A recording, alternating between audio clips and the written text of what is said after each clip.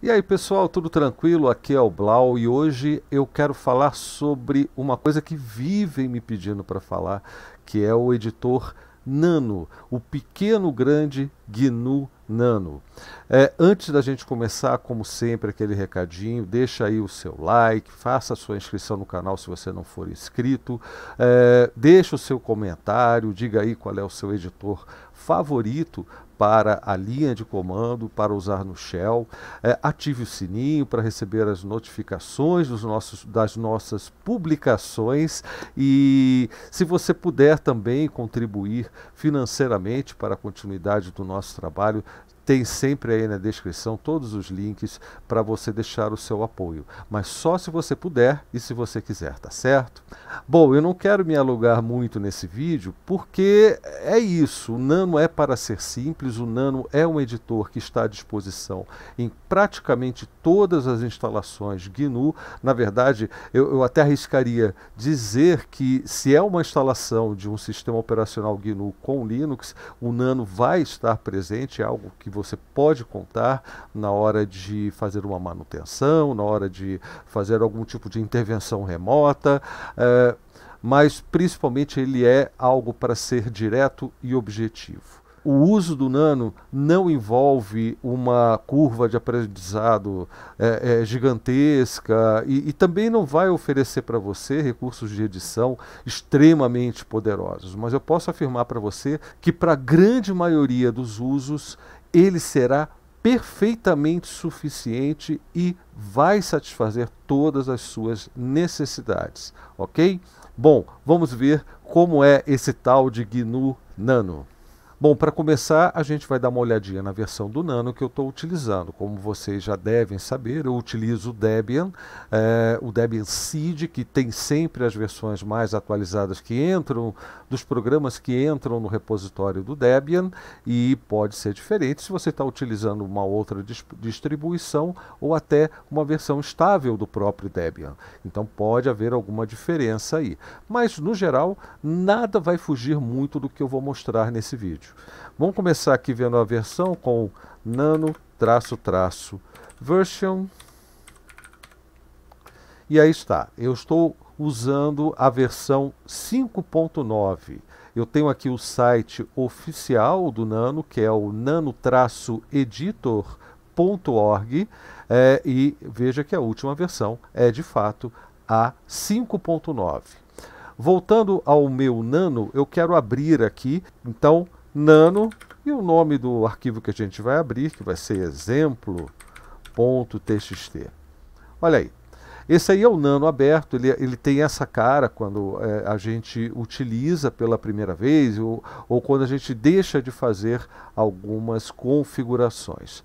Basicamente, que você tem um editor que você já pode começar a digitar. Então, aqui, ó, Maria tinha um carneirinho. Então, é um editor. Eu posso usar para escrever textos, para escrever código de programas, é, tanto faz. Ele é um editor de uso geral. Mas aí vocês vão falar, ah, eu preciso de numeração de linha, eu trabalho com programação, eu gosto de ver a, o número da linha que eu estou trabalhando. Não tem problema. Alt Shift cerquilha habilita a numeração de linha. Alt Shift cerquilha de novo desliga a numeração de linha. Agora, fora isso, o, o, você ainda pode ver o número da linha e da coluna onde o cursor está ali no rodapé. O que pouca gente sabe é que o Nano é altamente configurável, tem dezenas de opções de configuração e, e, e inclusive é, configurações do tipo é, é, de destaque de sintaxe aquilo de colorir o código para você identificar a, a, a sintaxe do seu, da sua linguagem de programação. Bom, como eu disse, a gente vai falar sobre várias coisas ainda sobre as configurações, mas de cara eu, eu gostaria que você prestasse atenção que nós temos um menu abaixo, que não é um menu, na verdade, é uma ajuda. Essa ajuda que nós temos no rodapé mostra para gente quais são os atalhos mais comuns ou mais importantes uh, ou, ou, que podem ser mais úteis durante a edição de um texto, ou a criação ou a edição de um texto. Então vocês vão ver que existe o Ctrl ajuda, esse circunflexo significa Ctrl, G para habilitar ou desligar a ajuda. Então, ó, vamos fazer Ctrl G aqui rapidinho, ó. Olha lá. Aqui nós temos a ajuda. Todos os atalhos do Nano estão aqui para serem conhecidos pela gente. Então não, não há desculpa. Ah, mas qual será o atalho? É só dar Ctrl G que você vai ver o atalho. Dando Ctrl G de novo, você fecha a ajuda. Essa ajuda que, que está aqui embaixo, você é, liga e desliga com Alt X. Ó. Alt X, modo ajuda desligado, desabilitado, e Alt X novamente, a ajuda aparece para a gente, ok? Mas a maioria das vezes o atalho que mais importa para a gente é o atalho para salvar e para sair do programa. Para salvar, existem várias duas opções pelo menos. É, como vocês podem ver lá nessa, na ajuda do rodapé, tem o Ctrl O, que é gravar. Ctrl O, é, em, em qualquer momento, vai fazer com que a gente possa escolher um nome para salvar o nosso arquivo. É, eu posso salvar com este nome, que já está definido, porque foi o nome do arquivo que eu abri lá na linha do comando, mas eu também posso mudar o nome, ou salvar o meu arquivo com outro nome. É, e aqui eu vou manter, eu só vou dar Enter e pronto, já está salvo. Se eu modificar aqui, inclusive, olha, Sualan Opa! Era branca como a neve. Tá certo? Repare que apareceu um asterisco aqui, ao lado do nome, né? Indicando que esse arquivo foi modificado, então precisa ser salvo. E se eu não salvar e tentar sair? Como que eu saio do nano? Olha, ali embaixo na ajuda está dizendo, ó, Ctrl X, sair. Se eu teclar Ctrl X agora, ele vai perguntar se eu quero salvar ou não esse buffer. O buffer é o espaço onde eu estou modificando ou criando um texto. Eu, eu quero salvar esse, esse buffer, sim ou não? Olha lá, S para sim, N para não, no caso, evidentemente, da, da, da minha versão que está exibindo as mensagens em português do Brasil. Mas se isso foi um engano e eu não queria sair do nano, apertei Ctrl X é, equivocadamente, eu ainda posso teclar Ctrl C, como diz lá embaixo na mensagem. Ctrl C, eu cancelo essa saída.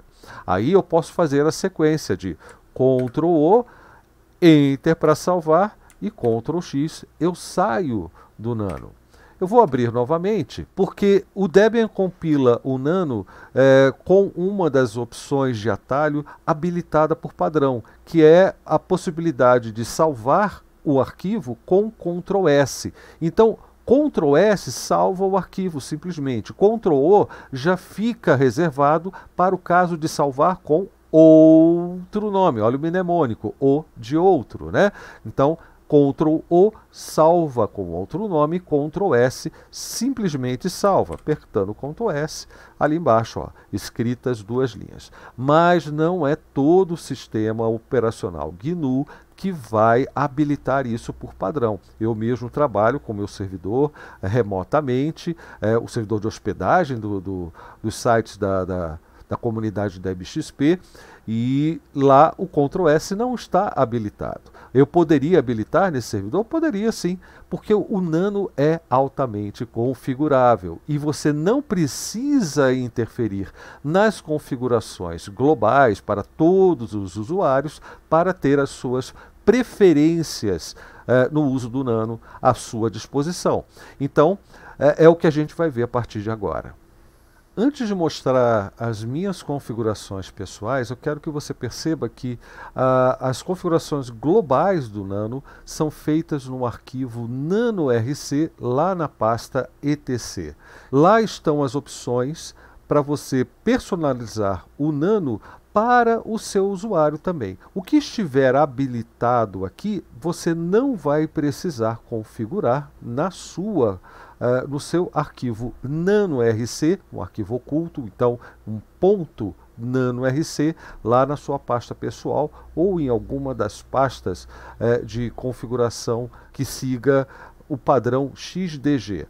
De, de, qualquer forma, na sua home, existindo um ponto nano RC, você vai poder fazer essas configurações. Eu vou mostrar a minha daqui a pouco. O que eu quero que você veja agora é que esse arquivo nano RC tem uma série de definições que estão comentadas. Eu não recomendo você tirar esse comentário aqui eh, e sim incluir essas opções no seu arquivo pessoal nano RC. Bom, só para você ter uma, uma noção, veja quanta coisa pode ser configurada. Olha aqui uma das opções que não está comentada. A, a, o registro do, do, do, histórico de buscas e substituições. Isso fica de uma sessão para outra do Nano e vem habilitado aqui neste arquivo por padrão, pelo menos no Debian. Uh, também temos aqui a tranca de edição de arquivos, também já vem habilitado no esquema do Vim, tá? inclusive é, é, é implementado de uma forma que, que funciona semelhante à, à, à tranca feita pelo Vim. É, que é para evitar de você editar simultaneamente é, o mesmo arquivo em dois editores, né? Então essa tranca tem essa finalidade. Uh, temos aqui também em algum lugar uma outra opção que já vem, ó, State Flags, que é para mostrar a, as opções que estão habilitadas no momento da sua edição. Olha aqui, ó, I e S, ó, essas flags aqui em cima no canto superior direito. Então, ó, I é de auto-identação e S é de soft wrapping, ou seja, quebra suave de linhas. É uma quebra que não é aquela quebra bruta das linhas quando elas passam do tamanho do, do, da largura de colunas do seu terminal. O que mais que nós temos aqui? Ó, suspendable. É, vocês já me viram em vários vídeos dando Ctrl Z enquanto eu edito alguma coisa no Nano, dou Ctrl Z, aí eu coloco o Nano em segundo plano no Shell e em seguida, depois de fazer o que eu tiver que fazer, eu, eu, teco, eu teclo FG na linha do comando dou Enter para voltar ao trabalho que eu estou realizando com o Nano. Então, para habilitar isso, tem essa opção aqui, ó, Suspendable, tá? e ela já vem ligada por padrão. E tem uma série de outras. Agora, a mais, a, a, a, mais interessante nesse momento é isso daqui. Ó. É, existe uma inclusão de vários arquivos que estão em USR, Share, Nano. É, eu acho que eu já deixei aqui, ah, aqui está. Veja, essa pasta USR Share Nano tem uma série de configurações .nano RC. O que, que tem nessas configurações? Destaque de sintaxe. O Nano é capaz de identificar o tipo de arquivo em que você está trabalhando e a partir dessa identificação, é uma expressão regular que ele usa para isso, ele vai carregar ou vai utilizar as definições de sintaxe que estão nestes arquivos. Então tem definição de sintaxe para tudo, de shell script até para configurações específicas de arquivos do Debian. Por exemplo, source list, que não é um programa, não é uma linguagem, mas tem uma coloração de sintaxe específica. Tá? E, e várias outras definições. Mas tudo isso aqui diz respeito a coloração de sintaxe. Uh, seguindo em frente, deixa eu voltar aqui. Tem outra coisa muito interessante que eu quero que vocês vejam. Aqui, olha, atalhos de teclado. Você pode configurar ou inibir certas, certos atalhos de teclado. Por exemplo, olha aqui o Ctrl S que eu falei agora há pouco para salvar o arquivo. É, aqui ele não está nem habilitado, porque eu acredito que ele já tenha vindo compilado para se comportar dessa forma, o Ctrl S para salvar arquivos. É algo que, em vez de ser ligado, teria que ser desligado. E para isso a gente tem aqui uh, esse, esse comando, essa palavra aqui reservada das configurações, que é o unbind. É, é, para ligar é bind e para desligar o atalho é unbind. Mas o fato é que o Ctrl S já vem uh, habilitado no Debian. É, e se você precisar habilitar no seu sistema, é só incluir na sua configuração do ponto nano RC esse comando aqui, essa definição, bind Ctrl S save file main. Colocando isso no seu nano RC, é, é, você também vai ter esse recurso à disposição.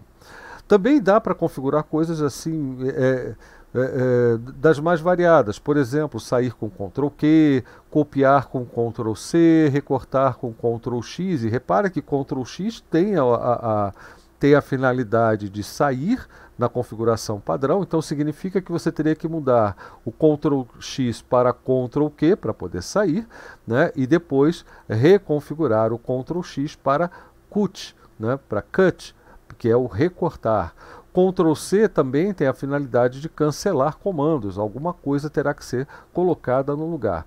Então, eu nem recomendo muito isso, porque a, apesar de não serem usuais, os atalhos de copiar, recortar e colar no, no Nano não são difíceis de, ser, de serem decorados, vamos dizer assim, com um, pouco, um pouquinho de tempo de uso. Só não faz o menor sentido mnemônico em relação a outros editores de texto, mas não são difíceis. Por exemplo, vamos voltar aqui ao meu texto. Ó. Se eu quiser copiar a palavra carneirinho, eu faço assim, ó, Shift, setinhas, seleciono carneirinho, aí eu teclo Alt 6. Aí eu vou aonde eu quero colar e Ctrl U. Colar é sempre Ctrl U, não tem dificuldade. Agora, se em vez de copiar eu quiser recortar, eu seleciono, por exemplo, branca como a neve. Selecionei e teclo Ctrl K. Isso foi um recorte, aí eu venho aqui embaixo, ó, Ctrl U. Então, recortar, copiar e colar não tem dificuldade, é só lembrar do Alt 6. Esse que está um pouquinho fora da normalidade, mas dá para trabalhar tranquilamente com esses atalhos. É, veja, se eu, se eu quiser recortar a linha inteira, eu vou lá no início da linha e faço Ctrl K. E colo aqui embaixo de novo, ó, Ctrl U. Se eu estiver no meio da linha e teclar Ctrl K, também funciona para recortar a linha inteira. Então, Ctrl U.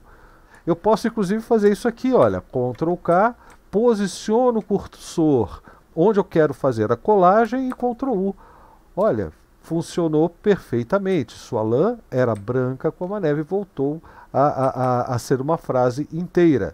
O Ctrl K também serve para deletar linhas, então eu posso fazer vários Ctrl K até eliminar a, a, quantidade de linhas que eu quiser. Mas esse eliminar significa que eu também estou colocando aquela, aquele conteúdo na área de transferência do meu buffer. Agora, fora isso, eu ainda posso utilizar a, a, o copiar e colar do terminal. Eu faço uma seleção com o mouse, por exemplo, e Ctrl Shift C e Ctrl Shift V. Olha, também dá para fazer esse tipo de copiar e colar aqui no Nano.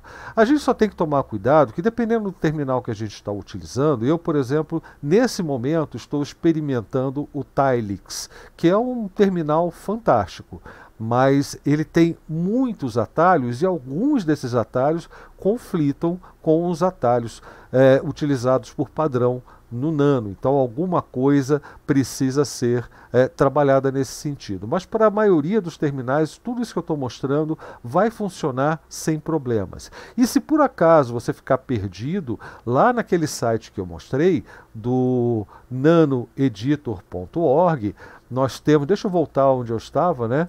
Porque quando a gente vai aqui, ó, vou voltar para o início. Quando a gente vai em documentação, ali embaixo, é, tem um link para os atalhos, shortcuts. E aí tem a lista completa dos atalhos que vêm configurados por padrão no Nano. Então é, é, é fácil você se achar aqui nas, é, é, nessa documentação.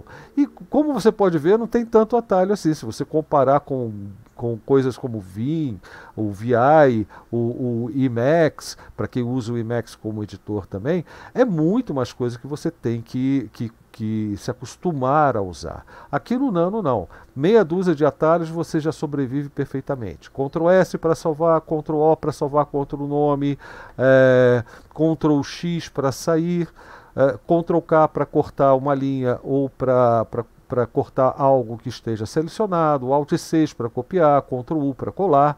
Tem o, o Alt U, que também é muito útil, né? Porque eu fiz isso aqui tudo. Se eu teclar Alt U, ó, eu vou desfazendo as minhas ações, ó.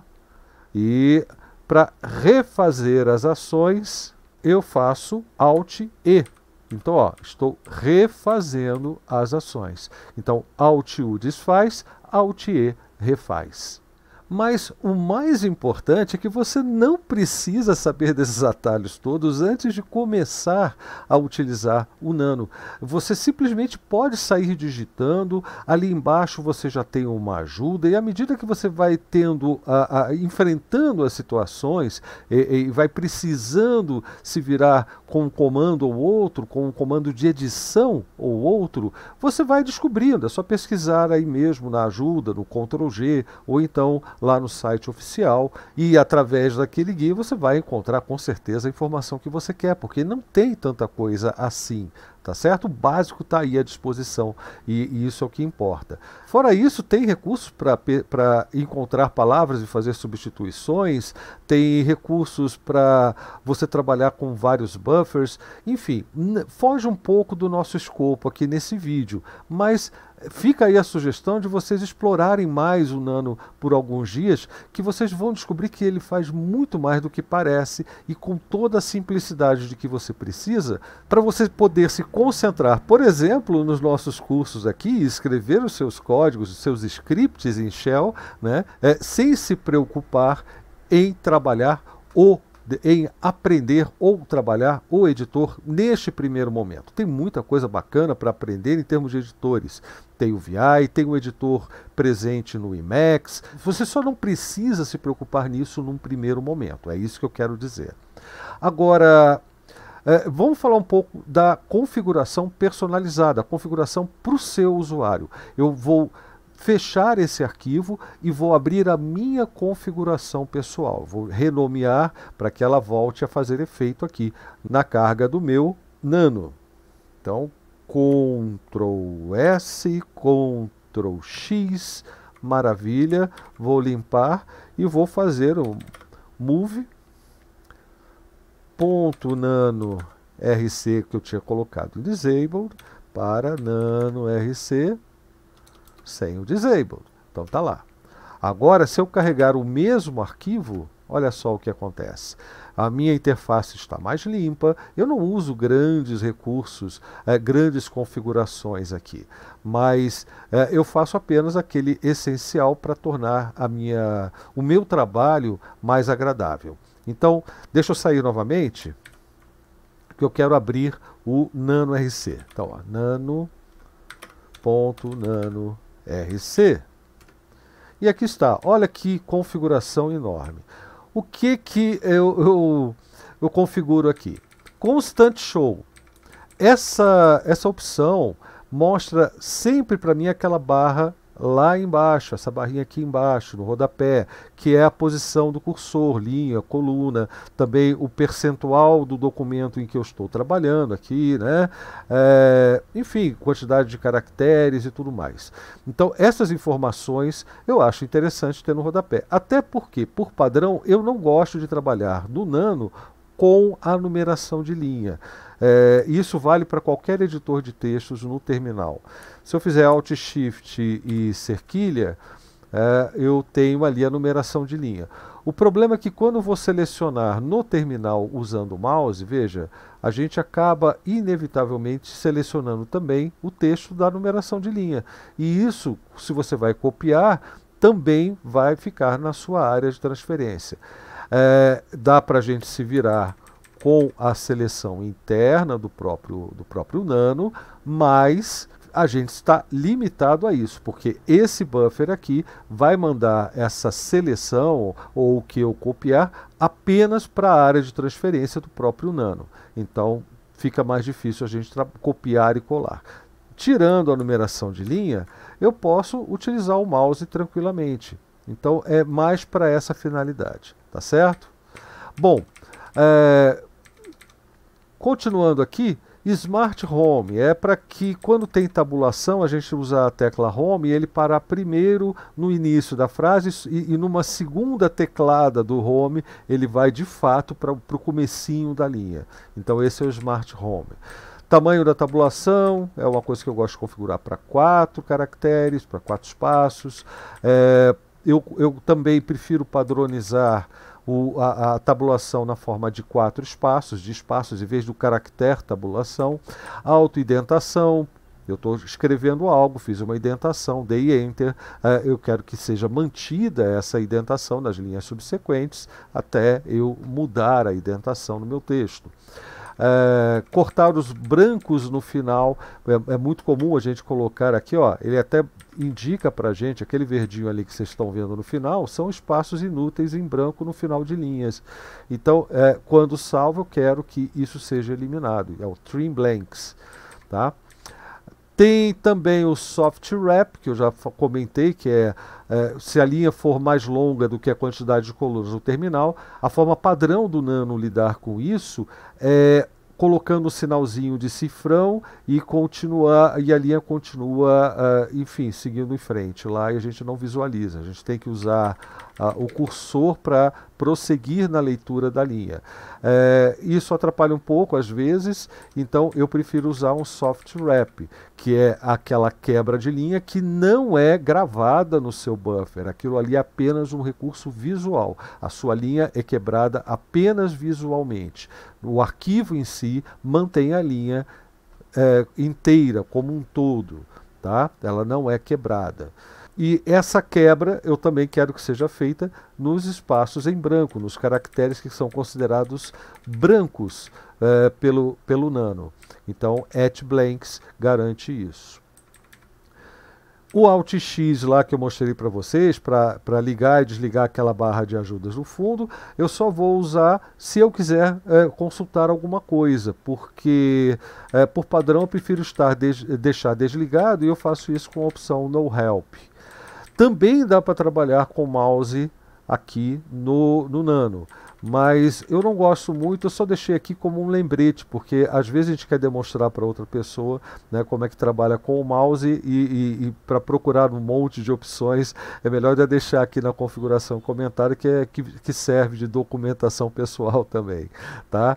A mesma coisa em relação à numeração de linhas, eu posso habilitar por padrão com line numbers, set line numbers. Você pode experimentar aí na sua configuração o que você quiser. Aquele arquivo que eu mostrei, deixa eu ver se ele ainda está aqui, o barra etc nano rc, tem todas as opções com que você pode brincar na sua configuração pessoal. Tá? Eu, eu, eu recomendo que você faça isso para experimentar. Cadê meu arquivo? Achei, está aqui. Tá? Ah, outra coisa que o, que o Nano faz é verificação ortográfica, e para isso a gente precisa de um programa chamado Aspel, eh, e a verificação vai ser feita no idioma que estiver trabalhando, no caso aqui é PTBR, e, e, e é muito, muito eficaz essa verificação ortográfica eh, posterior. Né? Ele não, eu não tenho aqui um recurso de marcar o que está errado enquanto eu digito. Até porque o processo de, de correção ortográfica sempre é feito ao final da sua edição, nunca durante, isso só atrasa o seu trabalho. Tá? E a tal da minibar, que é, é, é, é uma. Se eu não me engano, deixa eu habilitar isso daqui, que eu, eu não me lembro mais o que, que é. Ó. Vou salvar, vou sair vou abrir novamente. Ah, é isso aí é, é, essa barrinha superior, repara que sumiu, aquela barra que tinha o nome do arquivo e tudo mais. E agora nós temos um, um, um painel abaixo. Olha aqui, ó. Ponto nano RC, 27 linhas e tudo mais. Então agora todas aquelas informações que estavam na barra acima estão num, num, numa, numa barra no rodapé. E, e inclusive a, a, aquelas outras que já estavam, né? aqui ó, a posição do cursor, linha, coluna e tudo mais. Tá? É bem legal essa minibar. Então, ó, é, salvei sair, carreguei de novo e aí está. Tá? Eu prefiro separar. Eu quero aquelas informações ali por hábito mesmo. Né? São anos utilizando, eu já estou acostumado a olhar para cima para ver essas informações e deixo abaixo apenas a, a posição do cursor. Tá certo? Bom, eu acho que eu já passei para você tudo que você precisa para explorar e conhecer melhor o Nano. Então, eu espero que tenha sido útil esse vídeo, eu espero que você tenha gostado de conhecer essa ferramenta e, e, que você também, e que isso ajude, eu espero que isso ajude a, a, a, desfazer um pouco do preconceito que as pessoas têm com certos programas. O Nano é um, é um programa excelente, ele está disponível em tudo quanto é distribuição GNU com Linux. É, não é para competir com o VI, não é para competir com o Emacs ou com o editor da sua preferência. É, nós temos hoje em dia também o, o Micro para usar no terminal, que é um editor muito bom também, mas é algo que está disponível e, que, e, com que você pode contar se estiver trabalhando na máquina de outra pessoa ou remotamente em outro sistema GNU. Então, vale a pena conhecer para justamente poder se virar nessas situações. Agora, também não impede de você aprender para usar de fato no seu dia a dia. Dependendo do que você faz, pode ser a ferramenta suficiente e você pode se concentrar no seu trabalho ou no seu estudo sem precisar, num momento um pouco mais crítico do seu aprendizado, lidar também com as dificuldades naturais de conhecer um programa um pouco mais complexo. Então, fica aí essa recomendação. Aprenda o Nano. É uma ferramenta que precisa ser conhecida também, pelo menos na minha opinião. Tá certo? Lembrando a vocês que eu preciso do apoio de vocês, tanto para que esse nosso trabalho nesse nosso canal vá para frente, que alcance mais pessoas. Então, aquilo de sempre, faça a inscrição, comente, dê o seu joinha aí, ou, ou então o seu dislike, uh, enfim a gente precisa alcançar mais pessoas. E se você quiser apoiar o nosso trabalho, tiver condições para isso, tem também na descrição todas as formas de apoio financeiro. Tá certo? A todos meu muito obrigado, grande abraço e até o próximo vídeo.